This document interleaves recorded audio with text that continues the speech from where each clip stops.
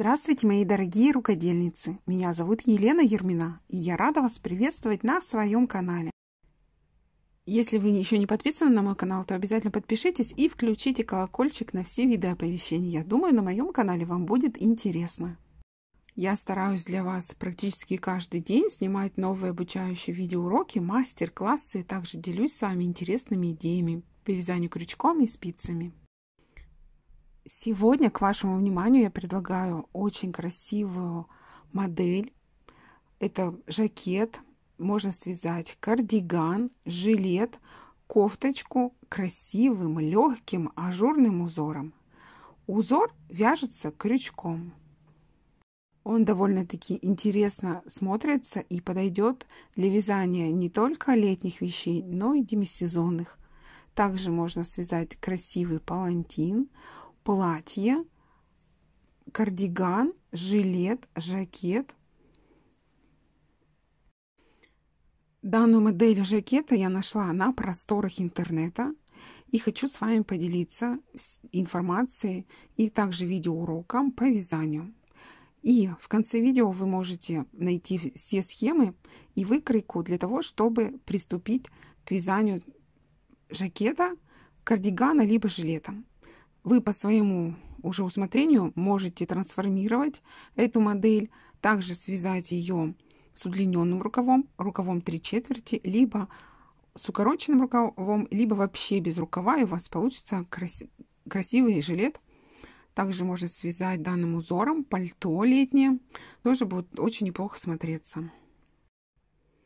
Пряжу для вязания можно выбрать любую по составу. Прекрасно будет смотреться данная модель, если вы свяжете ее из стопроцентного мерсеризованного хлопка или мягкого хлопка. Также получится неплохой вариант, если свяжете из бамбуковой пряжи, либо хлопок с бамбуком. Очень хорошо будет смотреться также жилет, жакет, кардиган, связанный из тонкой пряжи с содержанием шерсти. Это может быть полушерсть, чистая шерстяная пряжа шерсть с акрилом. Вот у меня в данном случае итальянская пряжа. Здесь 50% альпака, 50% нейлон. Можно связать из стопроцентной шерсти. Данный вид у меня пряжа кауни.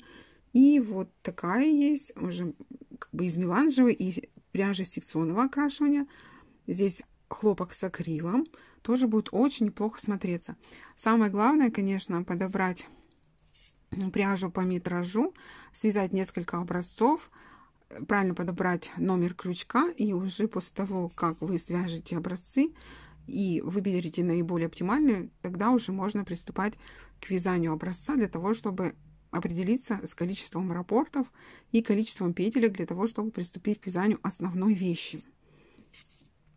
Сейчас мы с вами разберем принцип вязания узора. Я вам буду показывать и рассказывать, как вяжется один раппорт узора, так как он очень широкий. Основа раппорта. Будем вязать его вместе с вами и также научимся читать схему. Новички, начинающие рукодельницы, учатся вязать узор, отрабатывают технику вязания, учатся читать схемы, а уже опытные рукодельницы могут воспользоваться всеми материалами. Выкройки, выкройку из схемы вязания я размещу в конце данного видео. Можно сделать скриншот с экрана и распечатать. Вязать узор я буду крючком номер 2 Clover Soft Touch, страна производства Япония. И пряжу для вязания, демонстрации вязания узора я выбрала хлопчатобумажную, для того, чтобы вам лучше рассмотреть узор и не было вот этой излишней ворсистости в пряже, так как часто в комментариях мне пишут, что когда я вяжу из шерстяной пряжи, то очень э, сложно рассмотреть узор. Вот в этот раз я решила вам показать, опять же, технику вязания узора из хлопка, из хлопковой пряжи. Но это не говорит о том, что это летняя модель. Можно даже связать демисезонный вариант жакета, жилета, кардигана. Я хочу вас пригласить на мой второй канал, который находится на Яндекс.Дзен. Название канала «Мир рукоделия и творчества. Вязание». На своем втором канале я размещаю творческие идеи, мастер-классы, также делюсь схемами и выкройками для вязания разместила статью. Можно посмотреть детально данную модель жакета. Фотография увеличивается. Также здесь вы можете найти выкройку и все схемы. Есть схема основного узора. Вот эта схема. Есть схема, каким образом выполнить подрез для того, чтобы связать далее рукав в точной. Есть схема рукава с прибавками и убавками. Как связать окат рукава. И также есть схема, каким образом обвязать жакет по периметру. И мои советы и рекомендации по пряже и другие сопутствующие материалы. Я думаю, на моем канале на Яндекс.Дзен вам тоже будет интересно. Подписывайтесь на канал. Ссылочку на канал, также вот эту модель я оставлю в первом комментарии под этим видео. Проходите по ссылочке и пользуйтесь на здоровье. На этом канале я аккумулирую все, ну, буду стараться размещать интересные идеи и мастер-классы по вязанию крючком и спицами. Если у вас нет доступа на Яндекс.Дзен, то можете воспользоваться схемами для вязания, которые размещены в конце видео. Они тоже хорошо читаем, читаются, их можно распечатать, сделав скриншот с экрана. Вязать узор буду вот по этой мини-версии схемы. Так как здесь раппорт очень широкий, то я буду показывать принцип вязания одного раппорта. Для образца набираем цепочку из 48 воздушных петелек. Раппорт у нас состоит из 46 петелек в ширину основа раппорта и два ряда в высоту. Набрала цепочку из 48 воздушных петелек. Приступаем к вязанию первого ряда. Набираю цепочку. Раз, два, три воздушных петельки. Петельки подъема. Провязываю еще две воздушных петельки. Всего связала 5 петелек. Отступаем от конца цепочки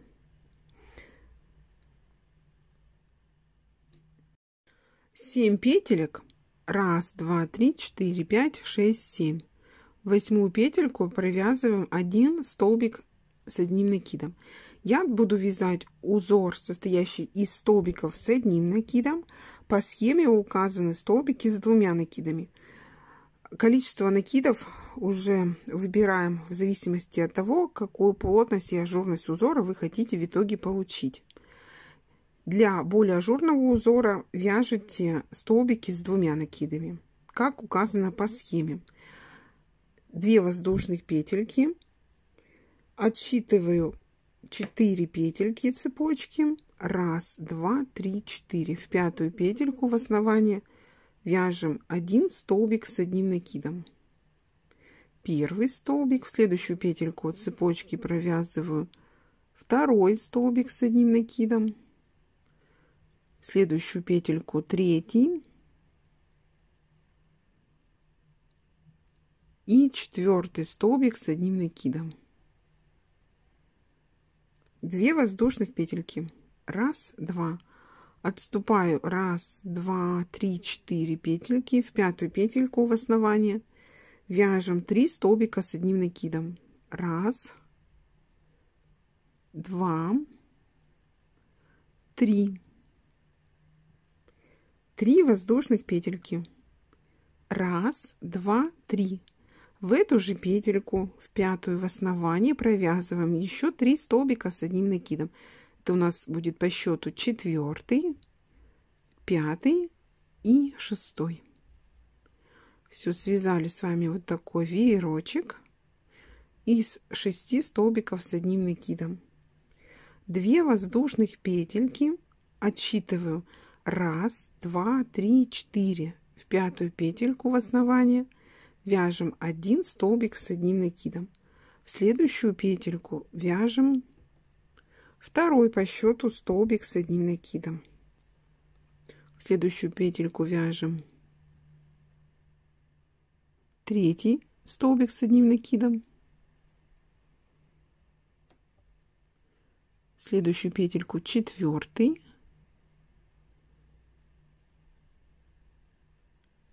две воздушных петельки. Раз два.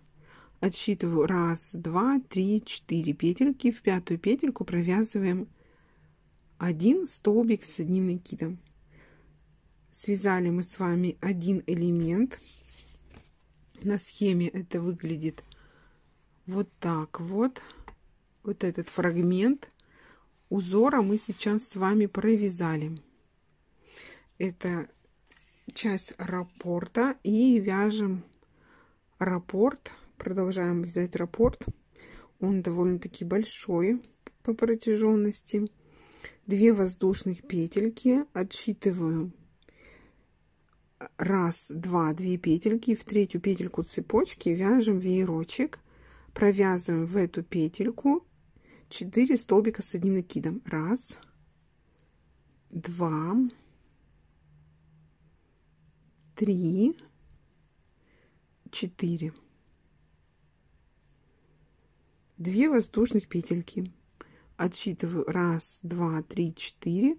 В основании пятой петельки вяжем один полустолбик с одним накидом. Две петельки на крючке оставляю, не довязывая столбик во вторую петельку цепочки провязываем второй полустолбик с одним накидом в следующую петельку цепочки провязываем третий полустолбик с одним накидом. В следующую петельку цепочки провязываем четвертый полустолбик с одним накидом. У меня на крючке 5 петелек. Соединяю их при помощи рабочей нити в одну. 2 воздушных петельки. Пропускаю раз, два, три, четыре петельки в пятую петельку. В основании провязываю веерочек из четырех столбиков с одним накидом. Все четыре столбика вяжутся с одним основанием, с общим. Раз, два, три, четыре.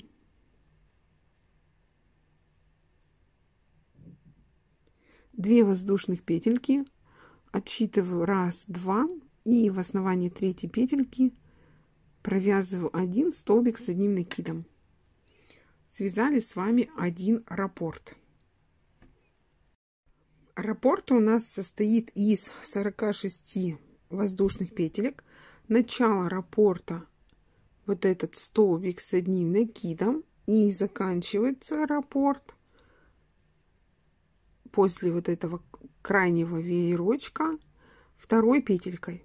Вот этот столбик мы связали для симметрии, для того, чтобы закончить ряд.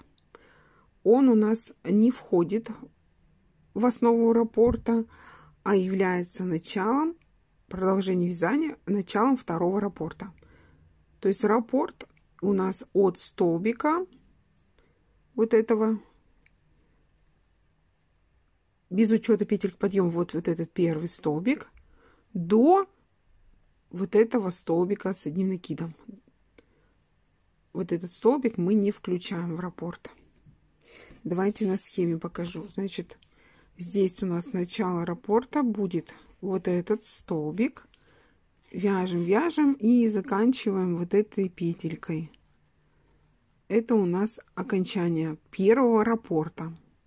По такому же принципу вяжете следующий раппорт, продолжаете вязать от столбика с одним накидом и заканчиваете второй раппорт вот этой второй петелькой перед столбиком. Давайте на вязание покажу для начинающих. Значит, продолжаете вязать раппорт, вот этот столбик вы связали.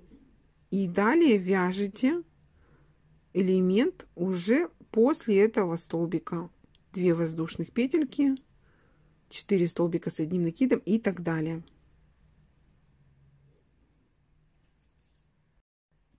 Раппорт у нас состоит из двух рядов. Продолжаем вязать. Набираю цепочку раз, два, три воздушные петельки, петельки подъема. Далее вяжем 2 воздушных петельки элемента узора, разворачиваю вязание на другую сторону. Связали цепочку из 5 воздушных петелек и в вершину первого столбика с одним накидом вяжем 4 столбика с одним накидом. Раз, два, три, четыре. Данный узор вяжется прекрасно прямыми и обратными рядами. И также можно вязать этот узор по кругу. Две воздушных петельки. В арочку цепочки из двух петелек я провязываю первый и второй полустолбики с одним накидом.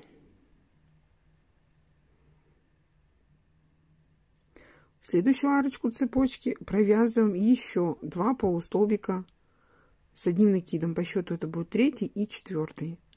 На крючке у меня 5 петелек, соединяю при помощи рабочей нити в одну. 2 воздушных петельки, пропускаю первый, второй, третий, вершину четвертого столбика с одним накидом, вяжем веерочек из четырех столбиков с одним накидом. Так, раз, два, три, четыре.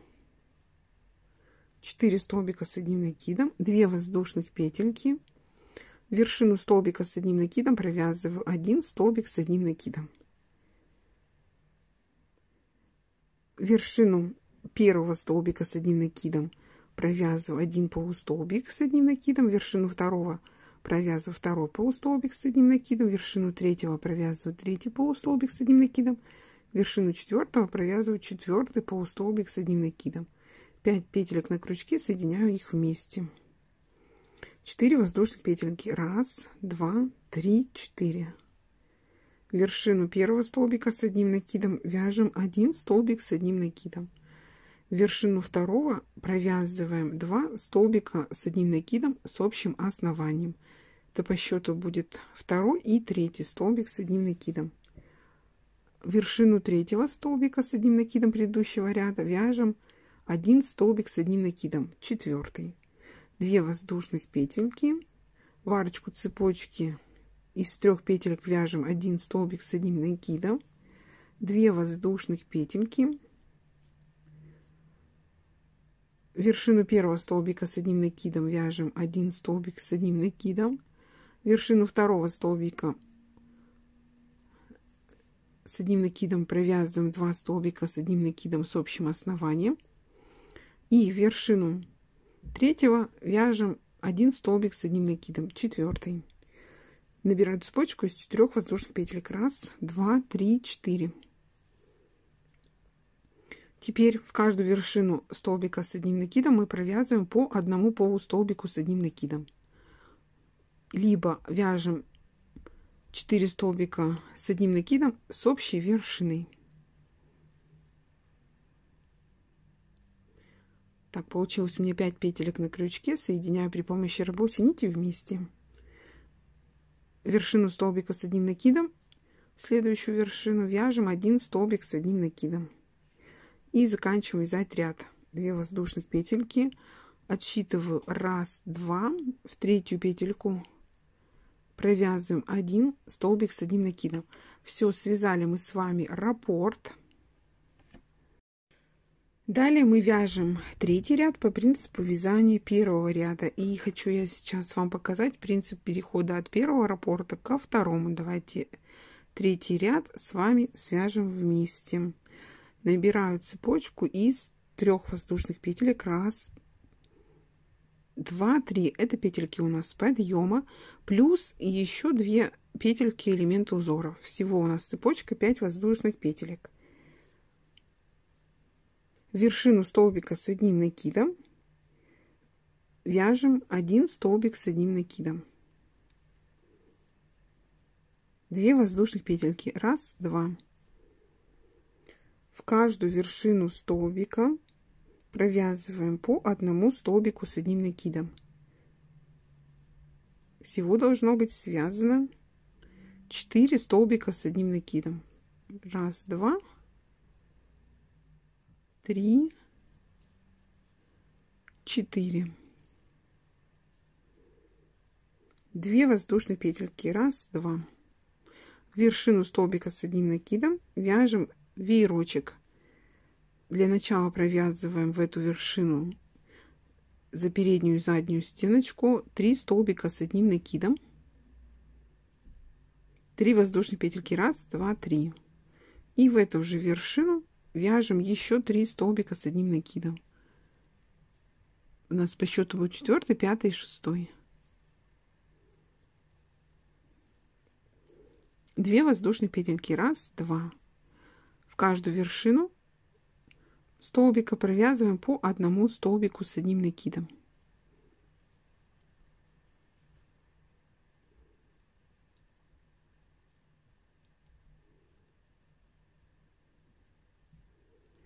Провязали 2 воздушных петельки и вершину столбика с одним накидом вяжем один столбик с одним накидом. 2 воздушных петельки вершину первого столбика с одним накидом вяжем веерочек из четырех столбиков с одним накидом. Первый, второй, третий, четвертый.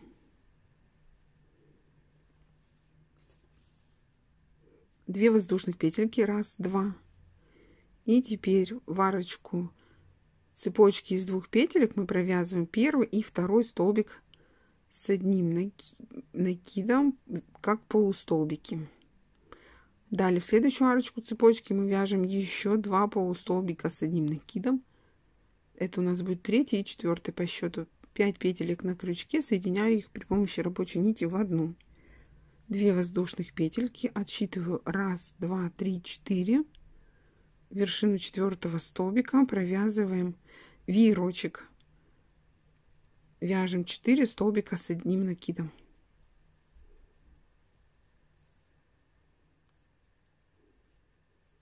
Две воздушных петельки, раз, два.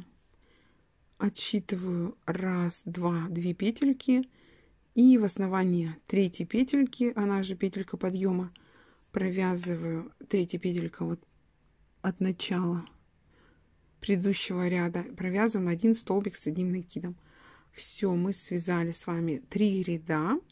Далее, для того, чтобы продолжить вязание, вы перематываете видео на начало вязания второго ряда и вяжете все время со второго по третий ряд. Раппорт у нас состоит из 46 петелек в ширину и 2 ряда в высоту. Давайте еще раз хочу с вами разобрать основу раппорта. Вот я закрепила маркерами. Первая петелька раппорта, в нее мы провязали столбик с одним накидом. Это начало раппорта. И заканчивается раппорт там, где установлен бирюзовый маркер. То есть перед столбиком крайним с одним накидом. И повторяете дальше вязание от оранжевого маркера до бирюзового. Связала я образец узора. Таким образом смотрится лицевая сторона узора. Это у нас с вами один раппорт. Всего лишь вот такой он широкий получается. И так выглядит изнаночная сторона. Если вязать узор по кругу, то будет очень интересно смотреться, красиво. Столбики все будут ложиться ровненько. Я вязала узор столбиками с одним накидом. Если вы хотите более ажурное полотно, то можете изменить количество накидов и связать столбики с двумя, с тремя накидами. Край у вязаного полотна будет неровный, немножко такой вот волнистый, зубчатый. Если связать из пряжи из пряжи летней серии то у вас получится красивый нежно-ажурный жакет. Можно связать жилет, летнее пальто, кардиган, кофточку, либо топик. Пряжи для вязания может быть стопроцентный мерсеризованный хлопок. Мягкий хлопок это летний вариант. И также вы можете выбрать любую другую пряжу по составу. Ну, чем тоньше пряжа по метражу, тем у вас нежнее, ажурнее будет узор. Чем толще пряжа, то будет, конечно, узор более грубовато смотреться. Все нужно, конечно, подбирать каждый узор, под каждый узор э, тип пряжи по составу и метражу. Обязательно нужно вязать образцы, чтобы правильно подобрать пряжу для того или иного узора. Давайте покажу вам узор поближе. Это изнаночная сторона и лицевая сторона. Вяжется очень быстро, всего два ряда. Несложно. А смотрится, на мой взгляд, довольно-таки неплохо. Здесь два ажурных вертикальных элемента в виде дорожек, листочки и ажурная мережка. Такой узор, он зрительно уменьшает, зрительно удлиняет силуэт и делает фигуру стройнее. А я с вами не прощаюсь. Жду вас завтра на очередном мастер-классе. С вами была Елена Ермина. Всем пока-пока. До новых встреч на моем канале.